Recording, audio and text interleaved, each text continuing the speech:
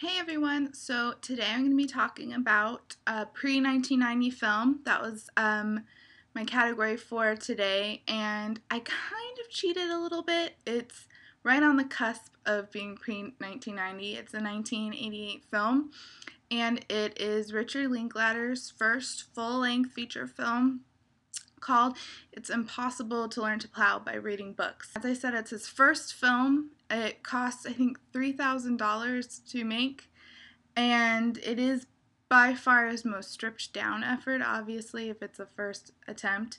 This is a film pretty much about an aimless wanderer, um, somebody who never really seems to have direction or really never seems to have a plan. And the film is pretty much executed in that manner. It's a pretty aimless and wandering film. Um, it's vast, it's sprawling, it covers a lot of ground, but ultimately it goes nowhere, which I think is kind of the point. You can definitely see how this leads up to most of his later films. There are actually some kind of um, similar motifs, like the train, which you see later in, of course, uh, Before Sunrise. And this falls in line very much um, in paralleling Slacker, which would be his next big film. To be honest, I think this is probably um, nowhere near my favorite Linklater film. I can give it total credit for being his first uh, his first venture into full length, but there were certain parts of it that were just too aimless, um, and maybe that's because I don't really like to necessarily delve into those aspects because I experienced it a lot in my own life. But here, unlike Slacker, it was just a bit, bit too much. Um, I found that unlike Slacker, the dialogue was actually the weakest part. Slacker, the kind of rambling nature of all of the characters, that's its strength. It, it brings to light so many eccentricities and interesting qualities of a town and of the people in that town.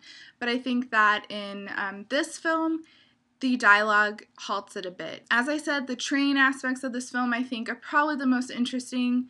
It's the most traveling kind of wanderlust feeling that you get. I think that's probably where he achieves the most beautiful aspects of this movie.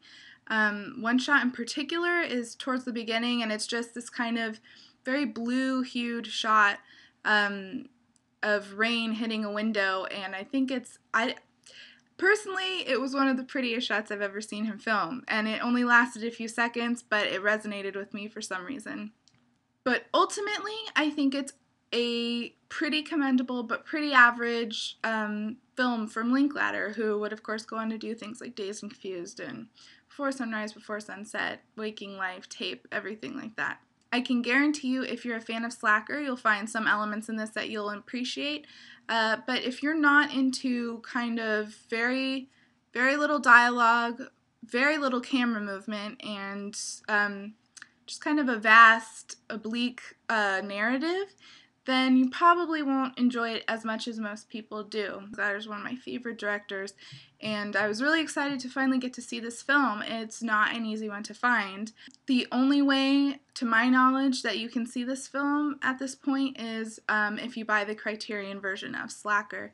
It's on the second disc of this beautiful version of Slacker, and it also includes um, his first short film, which takes place during a music festival. So, all in all, I would have to say that um, his first film, uh, along with Slacker, they both kind of provide an interesting slice of life and very realistic look at just kind of that aimless, not knowing where you're going in life feeling. If you're a fan of Linklater, you should definitely check this out.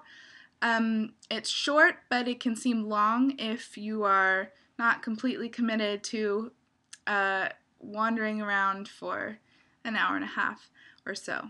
So that was my quick little summation. Um, I hope you enjoyed it, and I will be picking up another film review for next week. Bye.